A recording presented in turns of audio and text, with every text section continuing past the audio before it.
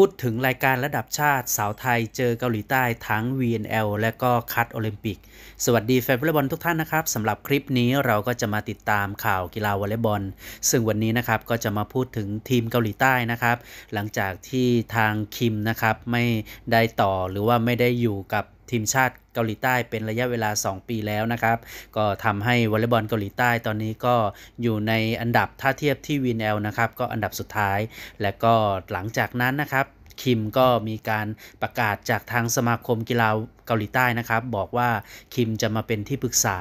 ซึ่งในวันนี้นะครับเราก็ได้เห็นคลิปที่ทางคิมนะครับมีการ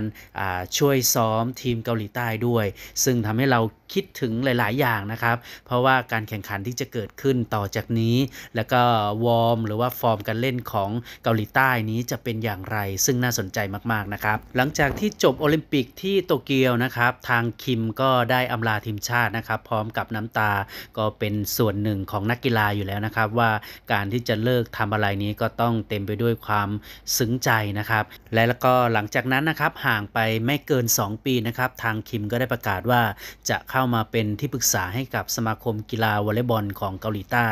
และที่สำคัญนั้นก็คือในการแข่งขันปีนี้นะครับสาวไทยของเราจะได้เจอเกาหลีใต้อยู่ 2 ครั้งนะครับ ครั้งที่ 1 ก็คือ VNL และครั้งที่ 2 ก็คือคัดโอลิมปิกนั่นเอง และที่สำคัญนะครับแอดเชื่อว่าการกลับมาของเกาหลีใต้ในปีนี้นะครับต้องดีมากกว่าเดิม เพราะว่ารูปแบบหรือว่าการที่คิมมาเป็นที่ปรึกษานี้ ก็มีผลกับการเปลี่ยนแปลงของทีมอย่างแน่นอน เพราะว่าการแข่งขันในรายการต่อไปนี้นะครับเชื่อว่าเกาหลีใต้ก็ไม่น่าจะปล่อยให้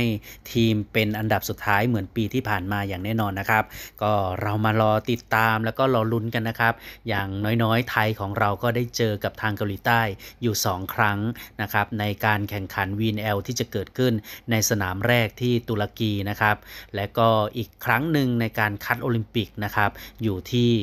โปแลนด์ก็ต้องรอดูนะครับว่าจะเป็นอย่างไรนะครับ เดี๋ยวเราจะไปดูคลิปสั้นๆนะครับ จากสมาคมกีฬาวอลเลย์บอลของเกาหลีใต้นะครับ นี่ก็เป็นภาพที่คิมนะครับเป็นผู้ช่วยนะครับในการฝึกซ้อมนะครับให้กับทีมชาติของเกาหลีใต้ ก็เป็นบรรยากาศที่พอจะเดาออกนะครับว่าเกมต่อไปนี้จะเป็นอย่างไร เดี๋ยวติดตามคลิป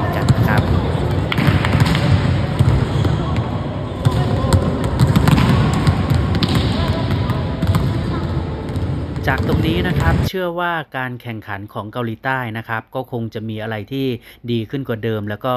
อาจจะกลับมาอยู่ใน